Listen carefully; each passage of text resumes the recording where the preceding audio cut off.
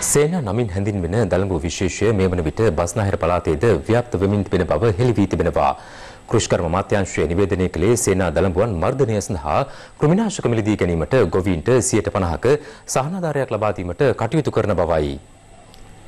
සේනා නමින් හැඳින්වෙන මෙම දළඹු විශේෂය වීවගාවට හානි කරන බවට මුලින් හඳුනා ගැන්වද මේ වන විට බඩිරිඟු උක් වට්ටක්කා වැනි භෝග වගාවන් වලටද ව්‍යාප්ත වී තිබෙනවා. එම දළඹුවන් මුල් ප්‍රදේශවල සිට වෙනත් ප්‍රදේශ කරා ව්‍යාප්ත වීම ඉහළ යෑමට ප්‍රධාන හේතුව වී ඇත්තේ දළඹුවන් සහිත ආහාර භෝග ප්‍රවාහනය බව කෘෂිකර්ම නිලධාරීන් පෙන්වා දෙනවා.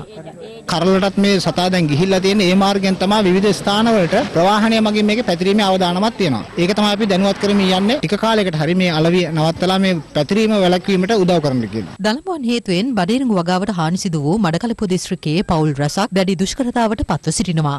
මෙවර අපිට කර කියා ගන්න දෙයක් නැහැ. ඉදිරියට මොනවා කරන්නද කියලා හිතා ගන්න විදිහක් නැහැ. අවුරුදු කාලට දැන් මේ වගාවල් තේරම විනාශ වෙලා තියෙනවා. සතයක්වත් යන්න බැරි මට්ටමට තමයි බලාගෙන යනකොට තියෙන්නේ. අපි ඉරඟු වගා ඔක්කොම විනාශ වෙලා ගියා. ඔක්කොම විනාශ වුණා. පර්මිට් කියලා දැල්මි ඇවිල්ලා ඒ ඔක්කොම අපි විනාශ කරලා දැම්මා. දැන් අපිට කර කියා ගන්න දෙයක් නැහැ. මේ අතර බස්නාහිර පළාතේ ගම්පහ දිස්ත්‍රික්කයේ ආශ්‍රිතවද මෙම දළඹු විශේෂය ව්‍යාප්ත වීම හඳුනා ගැනීමත් සමග කෘෂි නිලධාරීන් සහ වගාකරුවන් දැනුවත් කිරීමේ විශේෂ වැඩපිළිවෙලක් යොදා ඇත්තේ එම දළඹු විශේෂය මර්ධනය කිරීම සඳහායි.